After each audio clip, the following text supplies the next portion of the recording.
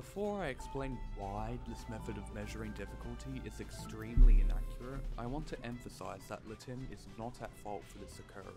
Yes, he made the videos and the list, but he understands himself that this is fictive. Let's call this correct timing of a chance.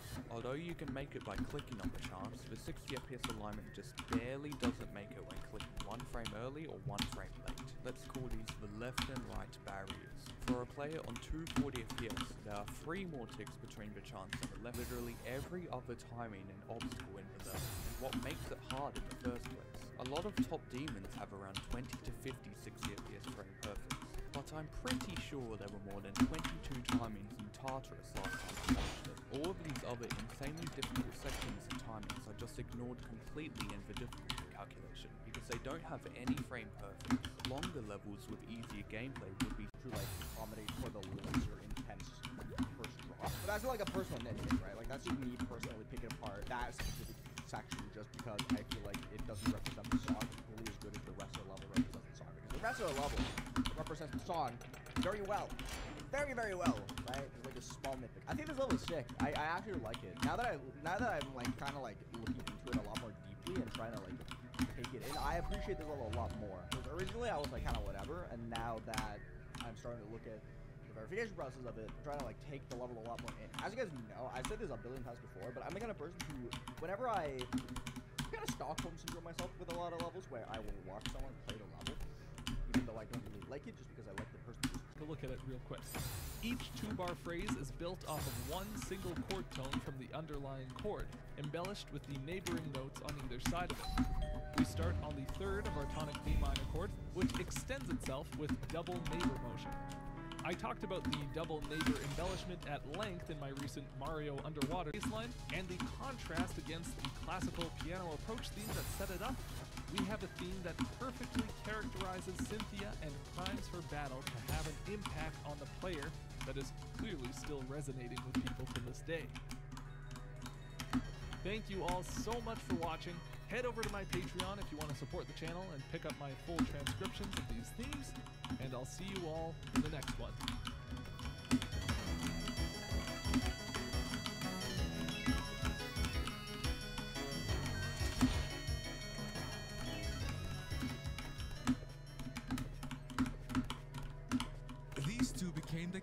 The of Geometry Dash in their prime, but over the years their legendary stories have been forgotten. Join me as we go back in time and uncover them. Andromeda was a player just like any one of us. He saw a kid on the school bus Oh, always well. playing this strange boy and those waiting on him to beat the level. The journey seemed to be nearing its end.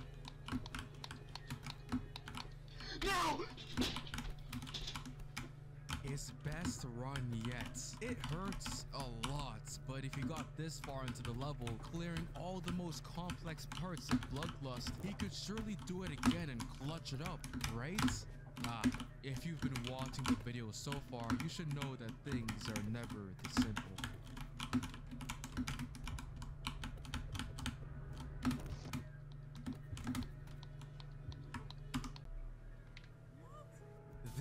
Was crushing. You can just tell it in his voice. The most infuriating part about this day was that he wouldn't get back there again. Rage increased as he poured more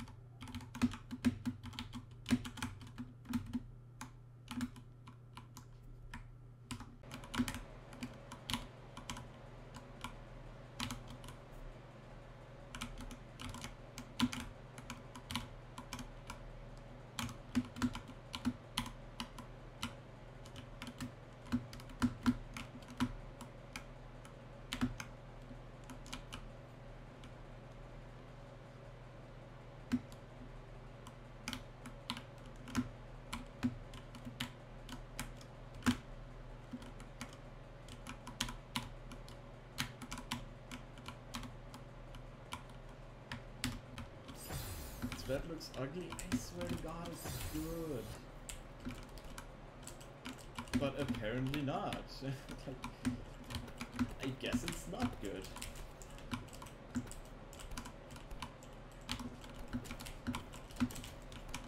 Yeah, I guess I go back to the back. Even though I hate it.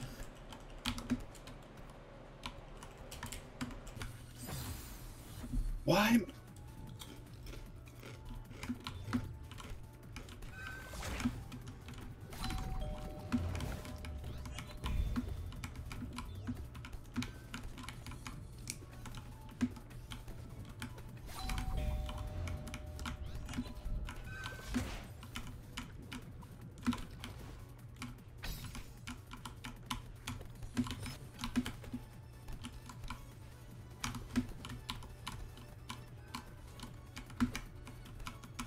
Why is that refill gonna be so far away?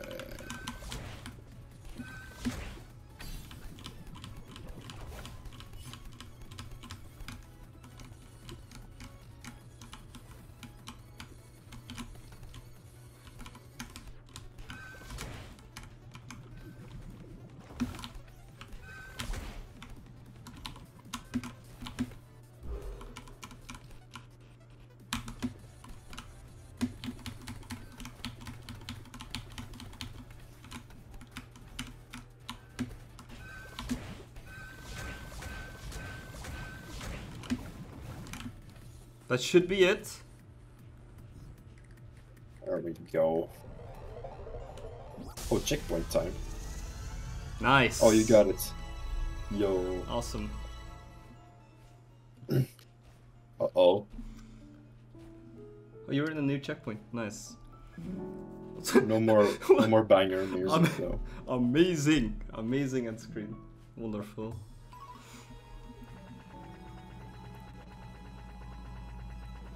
Time for the American housing crisis gameplay. Good luck, have fun.